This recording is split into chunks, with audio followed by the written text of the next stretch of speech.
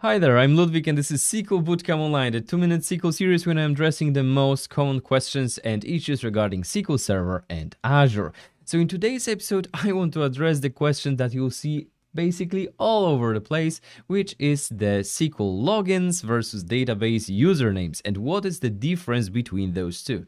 So let me just jump straight into the little drawing area in here. So the visual part will be very, with the visual part, it will be way easier to explain. So let's assume that this in here represents your SQL Server. It shouldn't be an uh, ellipsis. Hold on a sec. Here you go. What's going on in here? I want to draw a proper rectangle. Here we go. All right, so this is my SQL Server, all right? So this is my SQL Server instance, okay? I don't care whether it's SQL Server 2005 or uh, SQL Server 2022. This is my instance. Now, when you want to log in to that SQL Server, that's what you need to do. You need to log in, right? Using your login, right?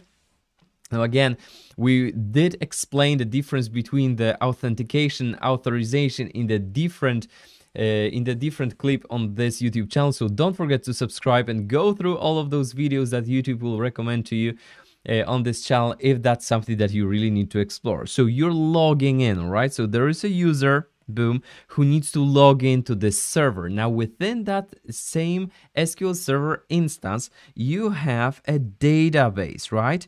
And in that database, user is being identified by their username. So we have the database user in here. Now, the reason why we have those two different levels that the user logs in using their credentials and then they are being mapped to the user in that particular database is very simple because on one SQL Server instance, you can have multiple different databases, right? And we definitely don't want to have the situation where one user once logged in, when they need the particular set of credentials in this database, they'll have those same permissions across the entire uh, SQL Server instance, so they'll have the same permissions in every single other database, right?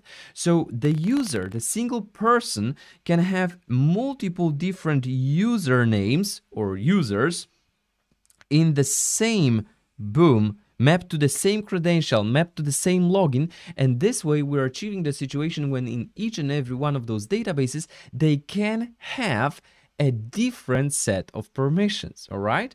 Now, this is just a high-level overview. Let me just show you how to create those logins and how to create those usernames and how to check whether you're logged in as this or the other user. Let me then, at the very end, show you how to impersonate other users in your SQL Server instance. So how, how can you switch the context of the user that is uh, executing particular piece of code. But since this is a two-minute SQL series, we're done for today. Go ahead, subscribe to this channel and go through the rest of those videos because all of those subjects are being covered in a separate little clips on this YouTube channel. So thank you, this is SQL Bootcamp and I'll see you on the other side.